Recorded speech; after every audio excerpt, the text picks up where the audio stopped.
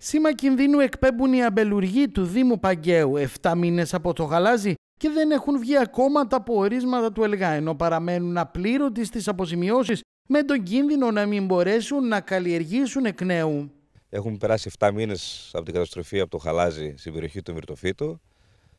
Πορίσματα δεν έχουν βγει ακόμα από τον ΕΛΓΑ. Είναι υπερβολική καθυστέρηση όσο αυτό το θέμα. Και επίσης δεν έχουν βγει ούτε πορίσματα από τις βροχοπτώσεις του Σεπτεμβρίου. Η συνέπεια σε αυτό το πράγμα είναι ότι δεν μπορεί ο κόσμος, δεν ξέρει αν θα καλλιεργήσει, όχι αν μπορεί, δεν ξέρει αν θα, θα ξεκινήσει να καλλιεργεί.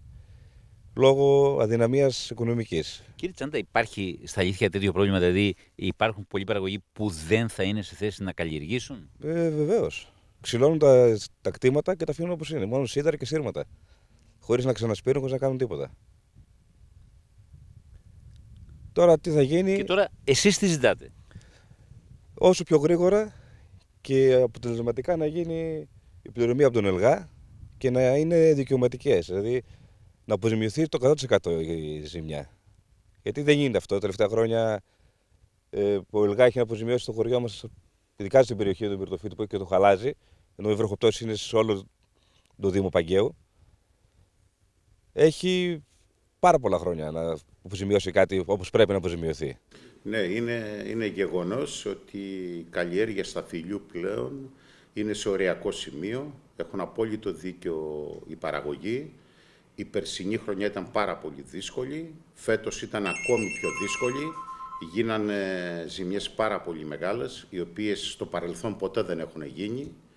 Αυτή τη στιγμή το μόνο που μένει πλέον είναι η παρέβαση της πολιτείας μέσω του ΕΛΓΑ, ο οποίος πρέπει να δώσει μία αποζημίωση αξιοπρεπή για να μπορέσει ο παραγωγός να σταθεί οικονομικά και κυρίως να μπορέσει να ξαναπαράξει, να ανταπεξέλθει στα καλλιεργητικά έξοδα της καινούργιας σεζόν. Είναι γεγονός αυτό, οι απόψεις οι δικές μας είναι ταυτόσιμες με τον παραγωγικό ιστό, ότι δεν μπορεί πλέον να καλλιεργήσει. Εδώ μπορούμε να καταβάλουμε αυτές που πληρώνουμε τώρα. Αν αυξηθεί ο ΕΛΓΑ, τότε που δεν πρόκειται να πληρώσει κανένας. Θα χρωστάνε, δηλαδή, ήδη χρωστάνε ένα μεγάλο ποσοστό αγροτών στον ΕΛΓΑ, με αυτές τις φορές που πληρώνουμε τώρα, αν ανεβούν, δεν πρόκειται να πληρώσει κανένας. Και είναι και του, όπως κάλεσαν ο καινούργιος Υπουργός Αγροτικής Ανάπτυξης, κ. Βορύδης, είπε να, δουν, να, πάνε, να μπει ιδιωτική ασφάλιση μέσα στον ΕΛΓΑ. Κάλεσαν τέσσερις ιδιωτικές ασφάλειε και δεν πήγε ούτε μία. Δεν... Θέλει αναδιάθεση ο ΕΛΓΑ από την αρχή. Να είναι πιο φιλικός προς τον παραγωγό, γιατί στιγμή δεν είναι. Και οι ελεγκτές που έρχονται μας αντιμετωπίζουν ε, σαν, σαν να είναι δικά του τα λεφτά.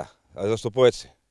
Τέτοια κατάσταση. Υπάρχει αλλαγή στη λειτουργία του ΕΛΓΑ. Δηλαδή, υπήρχαν εποχές που λειτουργούσε καλύτερα, ήταν πιο φιλικός στον παραγωγό και τα τελευταία χρόνια αντιμετωπίζεται αυτό το ζήτημα. Δεν ήταν πάντοτε αυτό. Τώρα τελευταία που ασχολούμαι κι εγώ, το βλέπω πιο συχνό φαινόμενο. Αυτή η αντιμετώπιση προς τους παραγωγούς.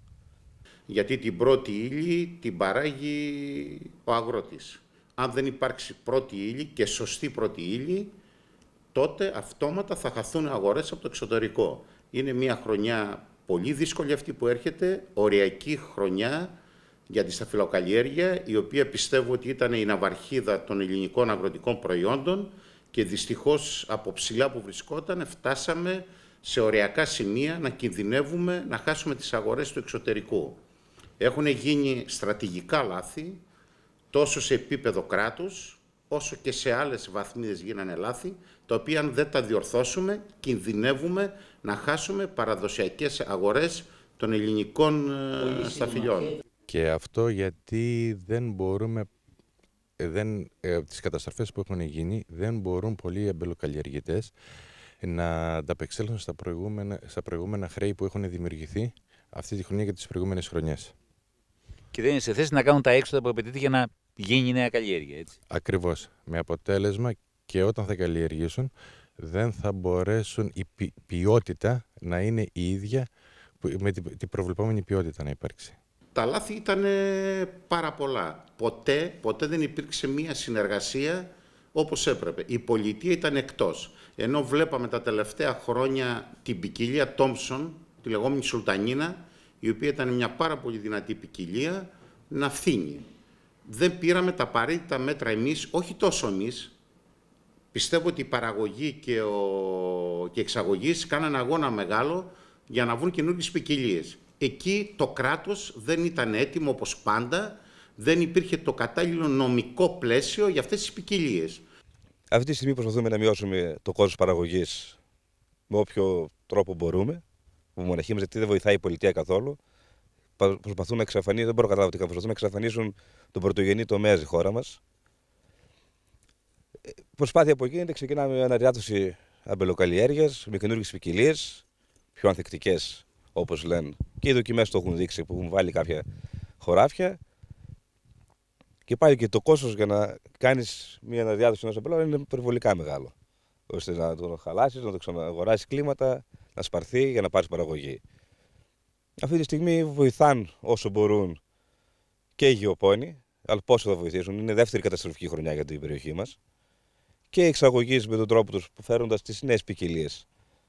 Και ενώ πριν αρκετά χρόνια προσωπικά εγώ έκανα επαφές με Αμερικάνους, με Ισραηλινούς για τις καινούργιες ποικιλίες, βρίσκαμε εμπόδιο το νομικό πλαίσιο το οποίο ήταν ε, αντίπαλός μας, ούτως ώστε να μας δώσουν αυτοί, αυτές τις ποικιλίες. Διότι αυτές οι ποικιλίες, όπως ξέρετε, είναι τα λεγόμενα πνευματικά δικαιώματα και ζητάνε μια νομική κατοχήρωση, ούτως ώστε αν γίνει κάτι, να μπορούν να τα απεξέλθουν νομικά οι ξένοι, οι ξένες εταιρείες.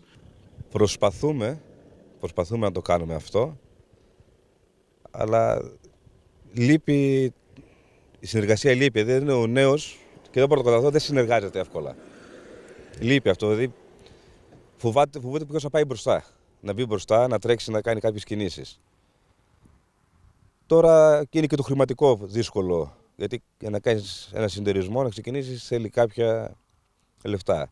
Τώρα ζω και τους παλιούς συνεταιρισμού που γίνανε οι συγχωνεύσεις με την Ένωση και τα χρέη, αυτό.